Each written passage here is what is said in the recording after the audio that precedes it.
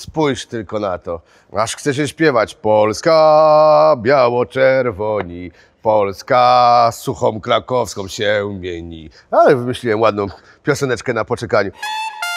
Hit it, boys.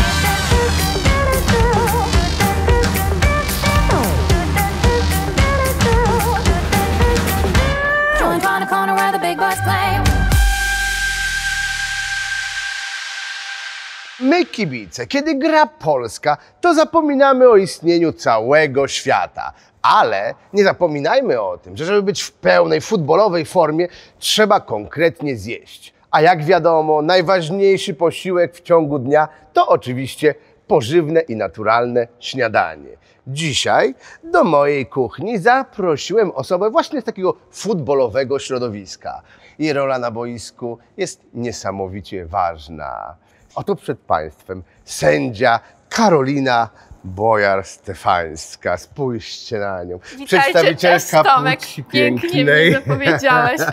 w tym jakże trudnym męskim świecie. Przygotowałem dzisiaj dla Ciebie, mam nadzieję, że pyszne i pożywne śniadanie, które jest trochę polskie i trochę węgierskie. Ale zanim do tego przejdę, to muszę Cię wypytać o parę rzeczy, bo na pewno nasi widzowie są bardzo zainteresowani taką postacią Trochę się boję, ale dawaj. Nie no, biegasz pomiędzy 20, 20, 22 facetami przez półtorej godziny i się boisz Jakubiaczka.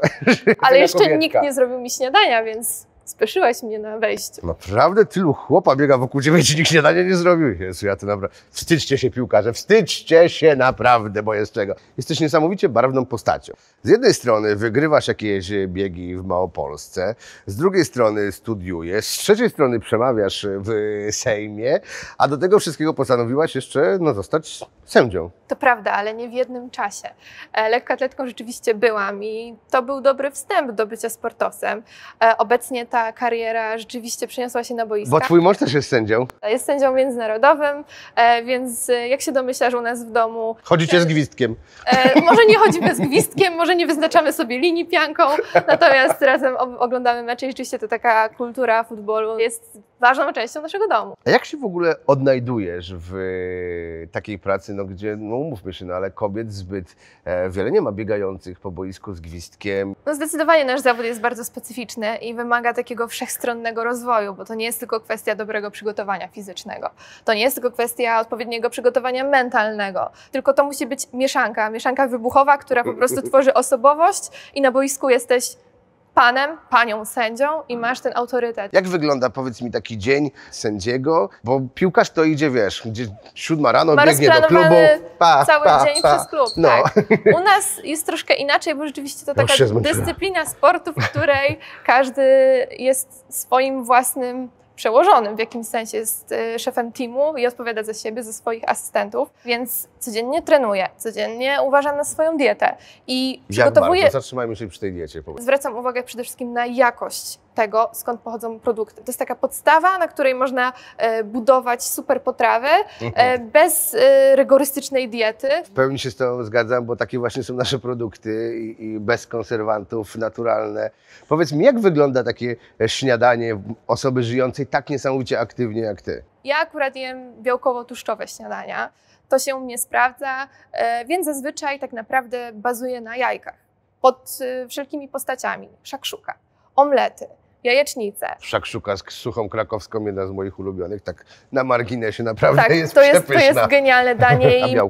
Ważnym źródłem białka rzeczywiście jest mięso i tutaj myślę, jak każdy sportowiec zwracam uwagę przede wszystkim na jakość tego mięsa, bo to jest klucz. Bardzo mnie cieszy to, co powiedziałaś. Tylko ja dzisiaj chciałem, żeby się nauczyła takiego śniadanka, które mam nadzieję później zrobisz swojemu mężowi I na stałe wejdzie do naszego i na menu. stałe wejdzie do waszego menu. Potrzebne będą takie składniki jak e, ciecierzyca, e, sucha krakowska z indykiem. Tutaj mamy ser długo dojrzewający owczy, orzeszki pini, pomidory, mozzarella, cytryna, papryka wędzona, pełnoziarniste pieczywo, no i szpinak. Czyli tak To naprawdę... musi być smaczne. No to przede wszystkim naturalne składniki i to śniadanie będzie pełnowartościowe, bo to jest bardzo ważne, ważne, żeby przede wszystkim poprawiać ten swój, ten swój stan ducha, ten swój stan organizmu, żeby go cały Śniadanie czas jest najważniejszym posiłkiem dnia. No oczywiście, że tak, tylko że trzeba uciec od tego tradycyjnego, które zazwyczaj się na co dzień je, w to lepsze, które na przykład my proponujemy.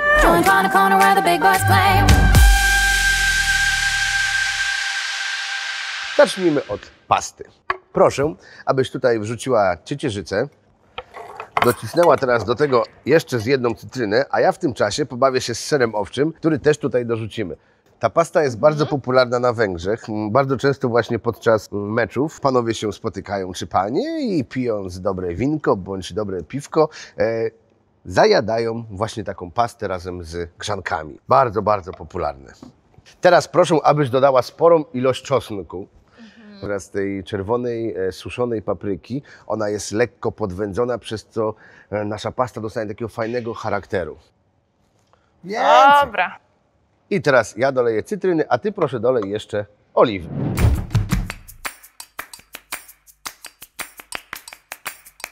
Trochę soli. I teraz wszystko bardzo proszę, aby zblenderowała na jednolitą pastę.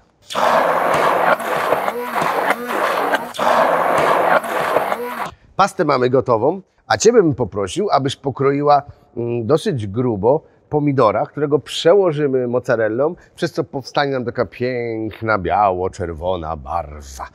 Mm, I każdą grzaneczkę zrobimy właśnie z takim pomidorkiem z mozzarellą. Ja już zacznę układać. Raz, dwa, trzy, cztery. W czasie, gdy Karolina przygotowuje pyszne grzanki e, z mozzarellą oraz pomidorem, ja przygotuję szpinak, który wyląduje na górze właśnie tych grzanek. Potrzebuję do tego orzeszki pini, które najpierw solidnie uprażę na odrobinie oliwy. O, już tutaj się pięknie orzeszki smażą. One dodatkowo wypuściły też tłuszcz, który był w nich i ja wrzucam teraz do tego szpinak. Ale po wrzuceniu szpinaku praktycznie już to ściągam z ognia. Chodzi o to, żeby ten szpinak tylko się delikatnie zblanszował, ale żeby też się nie rozpadł.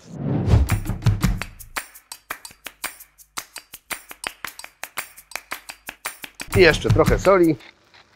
Och, powiem Ci, że jest kolorowo, niesamowicie zdrowo. I A teraz im jeszcze... bardziej kolorowo, tym bardziej zdrowo. No i właśnie do tego zmierzałem.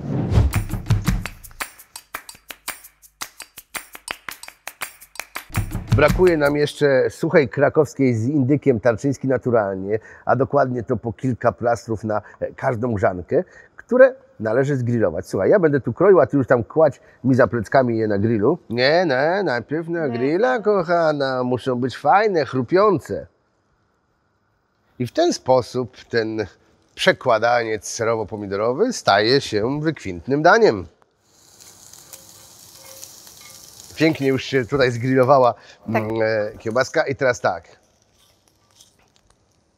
Dwa kawałeczki, pyk. Ja nakładam szpinak, a, A ja wieńczę kompozycję. Tak. Czekaj, tu dołożymy trochę więcej. I teraz wszystko to ładnie posypię. Czy wy widzicie tą piękną konstrukcję, która teraz e, trafi właśnie do piekarnika, aby się delikatnie rozpuściło, aby to wszystko się zapiekło i połączyło pięknie z tą pyszną, suchą, krakowską, tarczyński naturalną.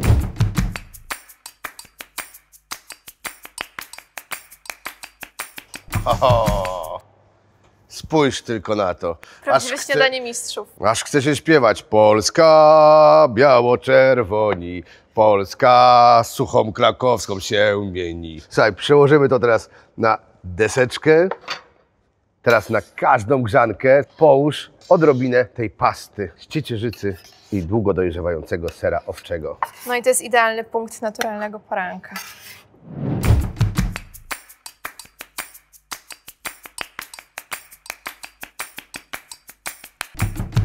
Odrobina tymianku, taka wisienka na torcie.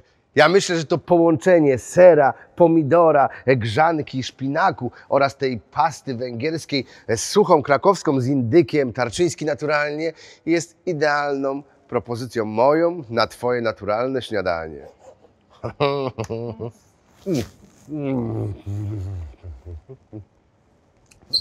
Aż mi się biegać zachciało.